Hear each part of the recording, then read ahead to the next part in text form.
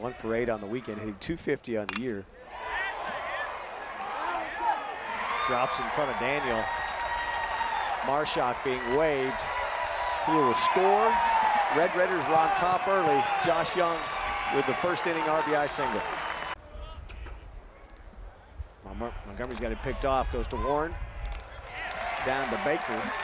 It'll be a 1-3-6 on the pickoff.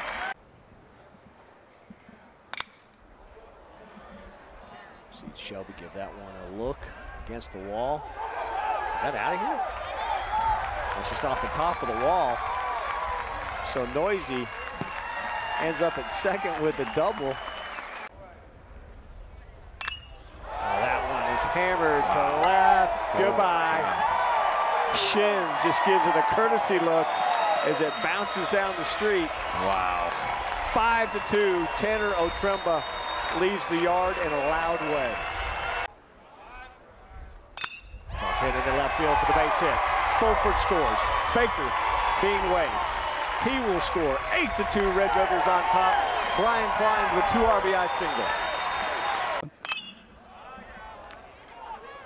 Tremba going back. Reaches up and makes the catch. Hangs on to it. Almost crashed into the wall.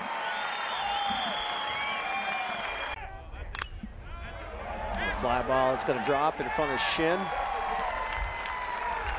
For the fifth RBI today for O'Tremba, and it's 14 to three.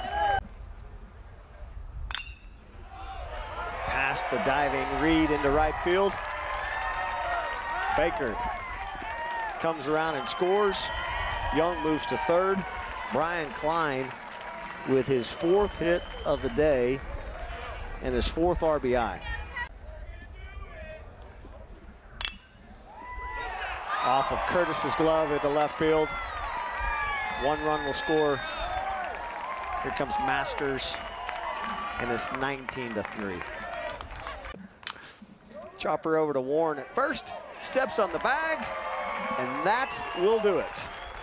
Red Raiders tidy up this 19 to 4 win over the Wildcats and get the sweep over Kentucky and now improved to 5 and one on the year.